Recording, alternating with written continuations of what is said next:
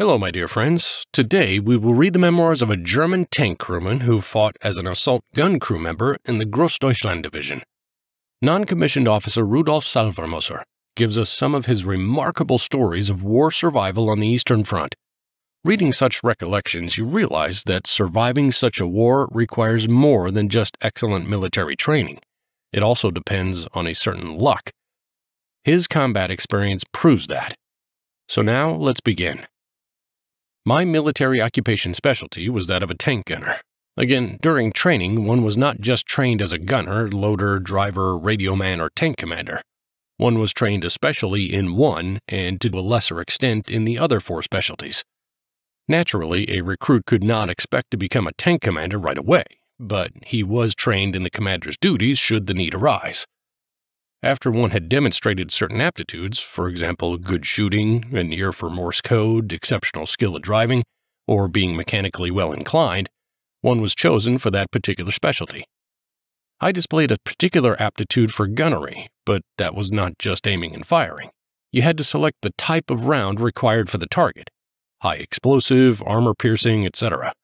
Estimate the distance to the target, advance the aim to correspond with the speed and direction of the moving target, and for all of this, you needed a somewhat analytical mind. Most gunners were chosen in regard to qualifications for potential commanders. Without meaning to brag, I was good enough to be sought out by tank commanders who were in a position to select a gunner. Of course, once you were assigned to a commander and his tank, you normally stayed with him unless he or you were wounded or killed.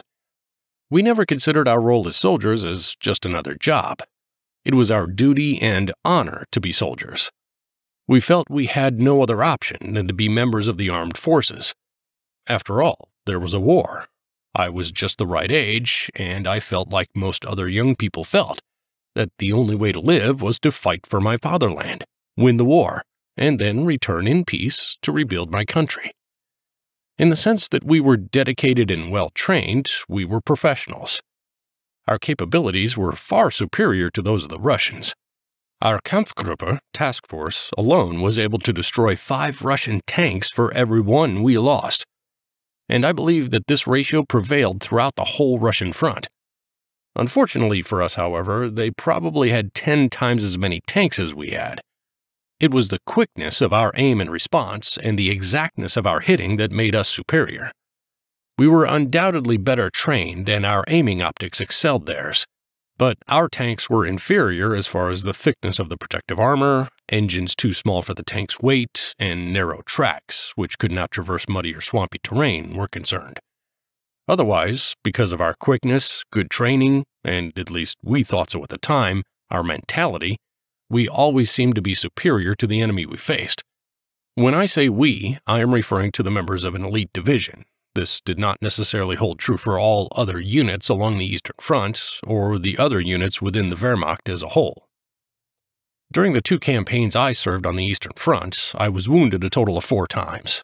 My first two wounds were received during the winter of 1943 44, around Narva on the Estonia Russia border.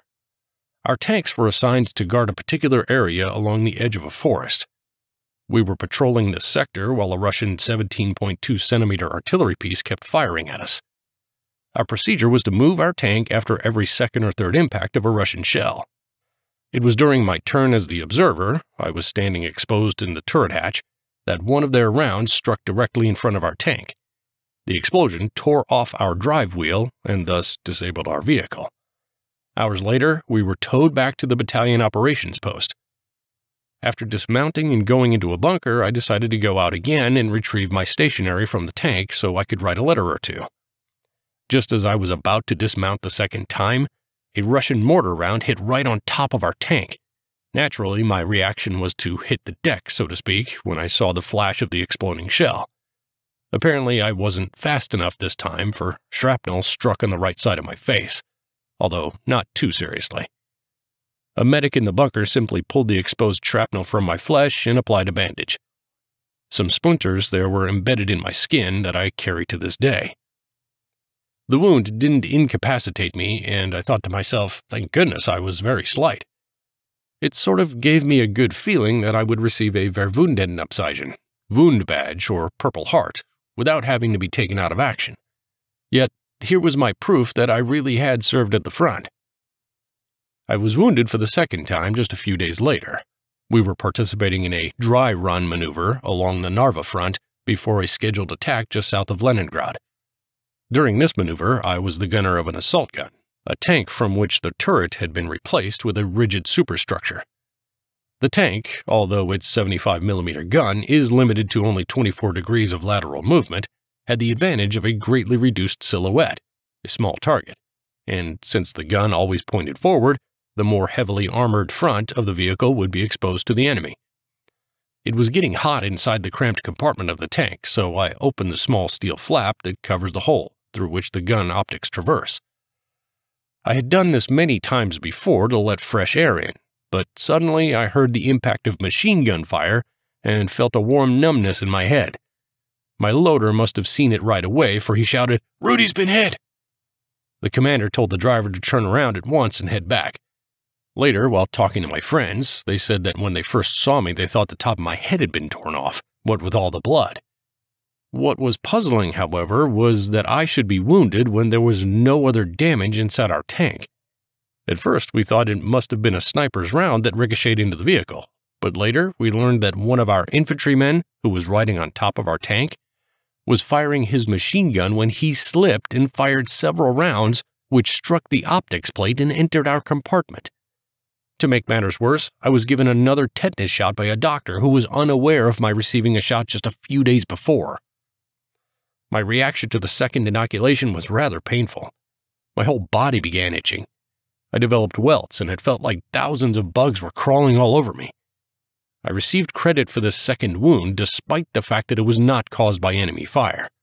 I was lucky, again, for a few days after this incident, my tank hit a mine during a real battle for which we practiced. My third wound occurred during my second front duty, just before the attempt on Hitler's life on July 20, 1944. This was a tragic event, for once again it was not caused directly by enemy fire. We were engaged in battle somewhere in Lithuania when one of our rounds of ammunition proved to be a Feldzunder, dud. When one of a round would occasionally fail to fire, such as this one did, our normal procedure was to wait at least seven seconds unload the defective round, and continue. After waiting a considerable time, our tank commander ordered the shell extracted from the chamber, which the loader did manually. At this instance, all I remember was seeing a bright, searing flame. I heard nothing, felt no explosion, and frankly did not know right away what happened. I looked back at our commander and saw him slumped over dead. The driver was coming out of his compartment below mine, telling me, Get out! We've been hit! I dismounted from the tank as quickly as I could and went behind the tank for cover, followed by the loader and driver. The loader had his arm torn away, right below the shoulder, and when I asked the driver if he had anything with which we could control the bleeding, the wounded man seemed to realize his predicament and began crying, My arm, my arm, my arm! Later on, I heard that he became temporarily blind from the flash of the explosion. I, however, was more fortunate. Although I was sent to the field hospital for a few days, my wounds only consisted of some shrapnel in my face. The biggest one was above my right eye, and burns on my right arm and right side of my face, though not very serious. Our commander, a first lieutenant, however, was killed instantly in the explosion.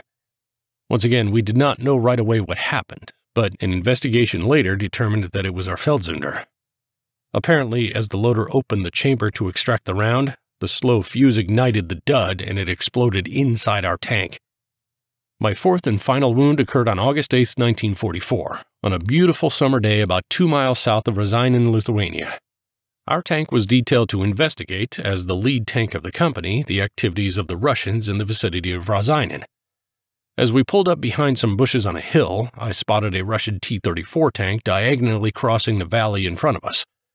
I had fired my first shot at the Russian tank when, at that instant, I sensed a shiny object approach our tank at a tremendous speed from the direction of 11 o'clock. Describing the event takes time, but this was an instantaneous occurrence. All I knew that danger was approaching, and before I could shout, Aufpassen! Watch out! There was a bright flash, and then nothing. No sound, no following explosion. I subconsciously crawled out of the tank. I regained consciousness when kneeling on the ground behind the tank. I saw my driver also kneeling in front of me. What happened? I asked him, and he replied, We got hit. When I asked him where the other members of our crew were, he replied, They are dead. As the tank engine finally sputtered and died, I heard a moaning and told the driver, I think one of them is alive, let's help. As we both leaped onto the rear of the tank, we found the loader alive, but he had a gun in his hand and was preparing to shoot himself.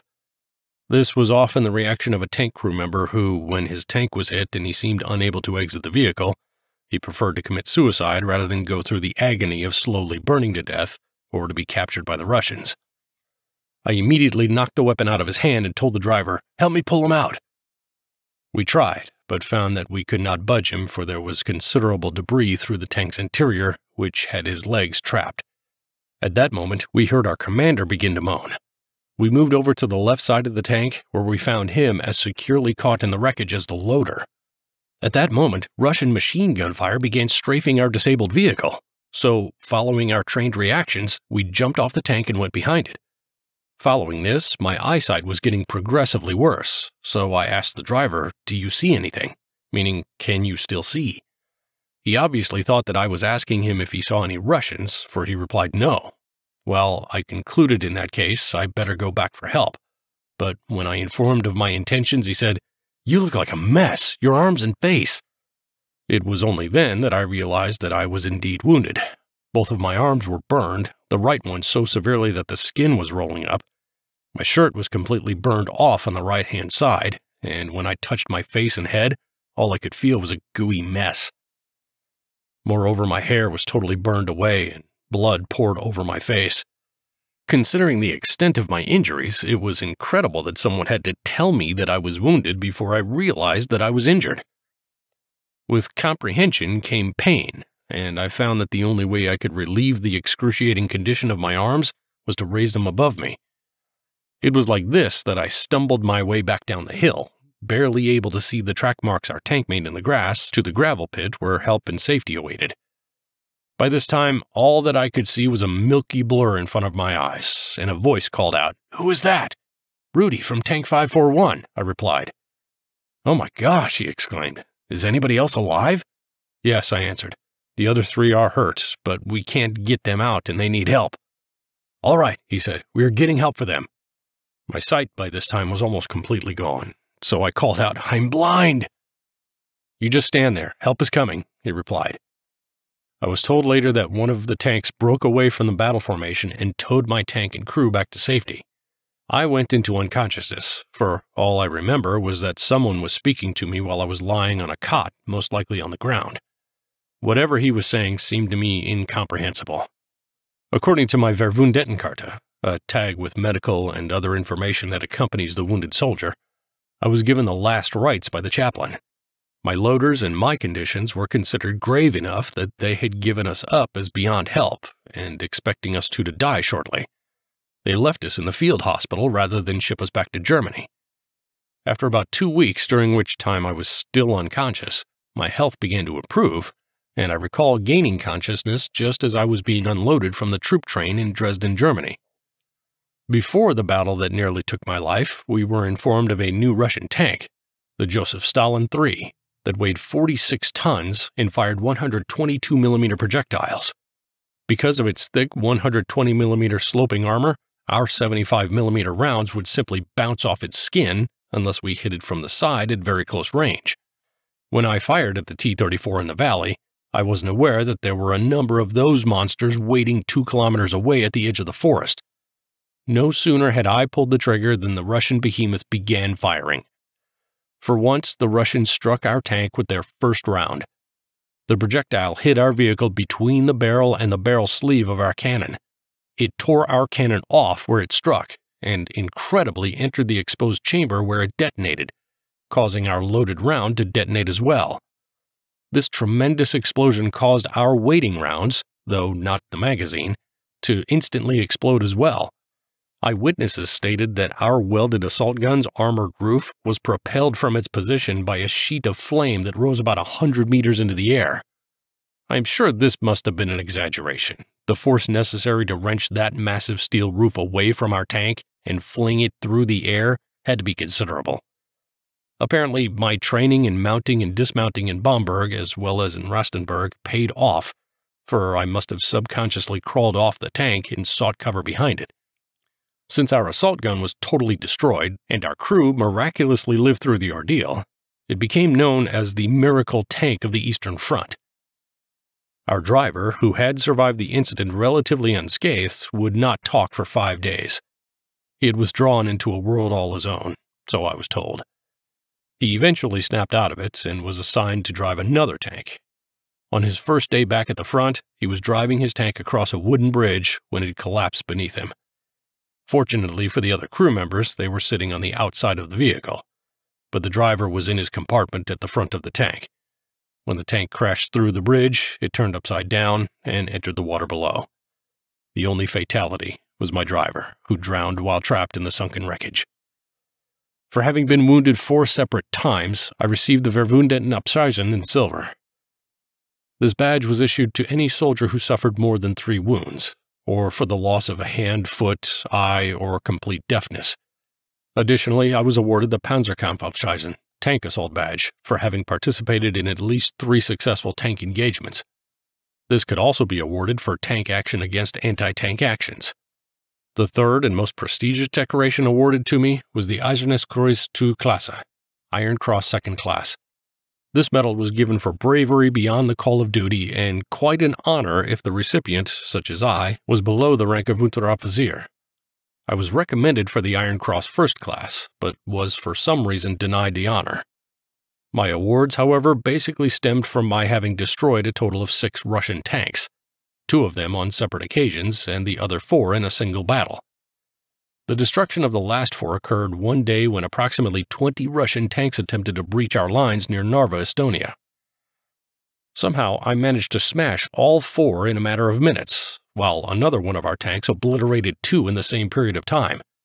Meanwhile, our 88mm anti-aircraft anti-tank battery succeeded in destroying four additional Russian tanks.